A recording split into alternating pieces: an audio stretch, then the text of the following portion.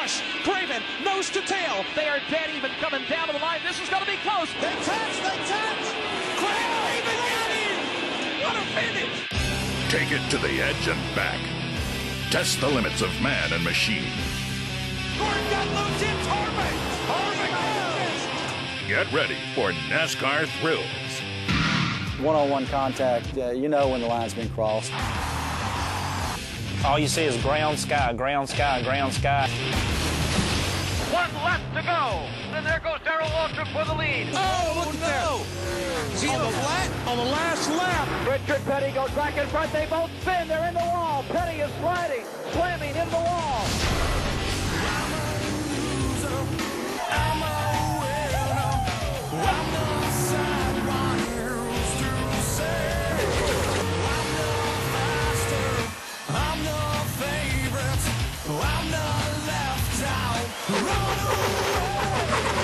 Cale hits him.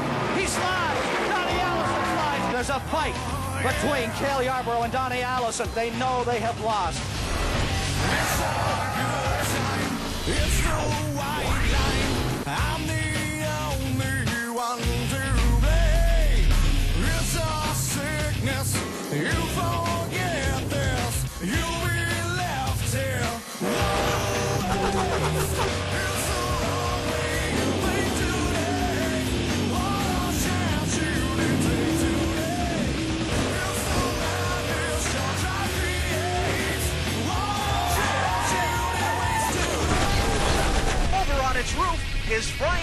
In the tri-oval grass. The car flips two, now three times. Oh, trouble!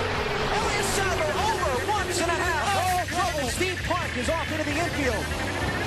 Terrible crash.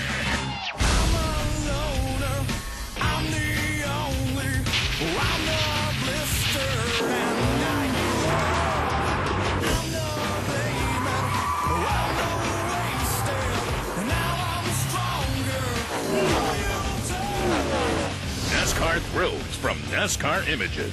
It's a mix of speed, of thrills, and unforgettable images from throughout NASCAR's amazing six-decade ride. It's going to be Dale Earnhardt Jr. NASCAR Thrills also goes beyond the racetrack.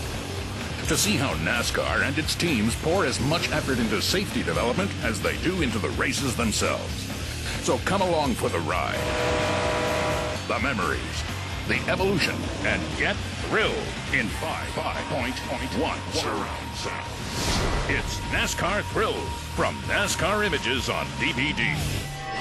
For nearly six decades, no sport has enjoyed a more meteoric rise in popularity than NASCAR. Nearly every weekend, from Valentine's Day through Thanksgiving, hundreds of thousands of fans jam the grandstands across the United States, and millions more watch on television. The reason? They just may witness a special moment like this one. Photo finishes. Getting physical here at Darlington Raceway like it's supposed to be. Craven has another shot, but only one. The white flag out. This time, Kurt Busch leads by inches back to turn one. The gloves are off. Craven is there into turn one. Half a car length back. Busch drifts high. Here they come off turn two, racing for the lead and the win. The crowd on the back straightaway is just going delirious. Busch, Craven, nose to tail. Here comes Craven up top. Busch goes up the block. Here comes Craven down to the bottom, trying to hang on. Both cars are loose in fours. He's got him this time. It's going to be a drag race. Wow! They touch, they touch. Craven got him. Craven got him. Craven got him. All right. What a finish. The goal for every NASCAR driver is simple to make it to this line before anyone else does. Now, some races are won by several car lengths, others are won by several feet. But when Ricky Craven outdueled Kurt Busch at Darlington in 2003, the difference was measured by several digits to the right of the decimal point.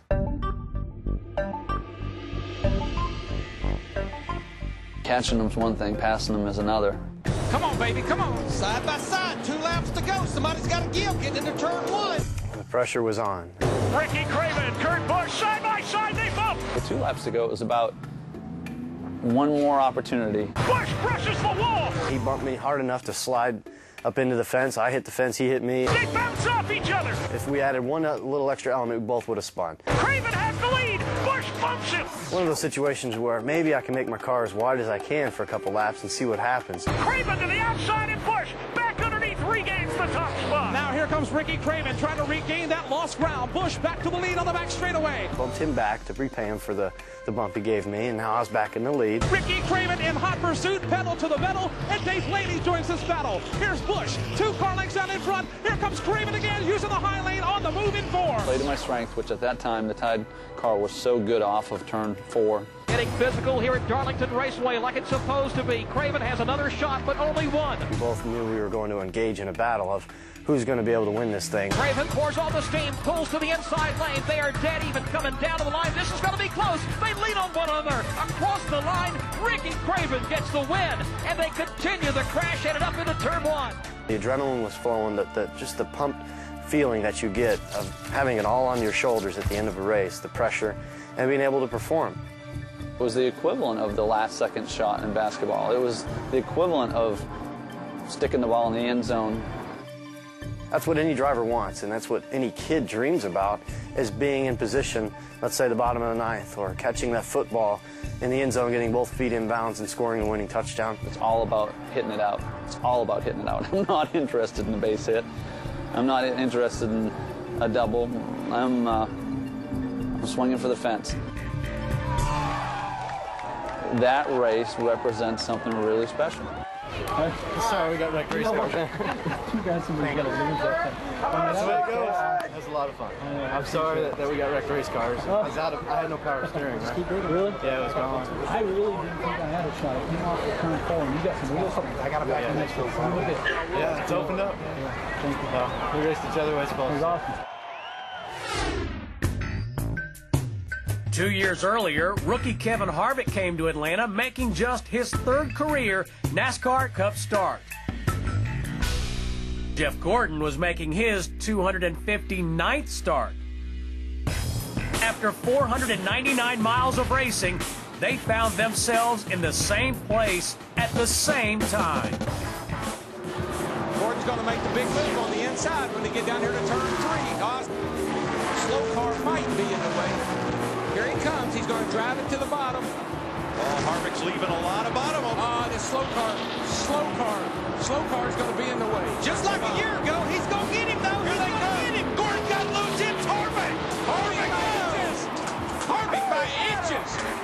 Harvick by inches. What a race. What a finish. Harvick beat Gordon by six thousandths of a second.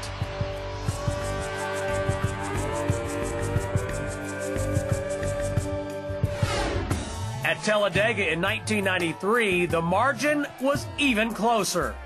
This is the battle for the lead on the very last lap. Jarrett falls in behind Irvan, and Kyle Petty falls in line behind Earnhardt. Jarrett falls off of Irvan. It's Earnhardt and Irvan coming up on lap traffic. It's a dead heat at the end of the back straightaway. Ernie Irvan to the bottom of the racetrack. Now it thins out to two by two. It's Irvan to the inside. Up high is Dale Earnhardt. Lap traffic ahead. Ernie Irvan with maybe a foot on Dale Earnhardt off the corner. Side by side for the lead of the diehard 500. Here comes Mark Martin. He'll try and tuck in right behind Ernie Irvan, but it's going to be Irvan and Earnhardt settling it. Irvan goes to the low side of the racetrack. Earnhardt force high. Here they come to the stripe. It's going to be a dead heat at the line. Earnhardt by about two inches. It looked as though Earnhardt by about an inch and a half or two, if that much.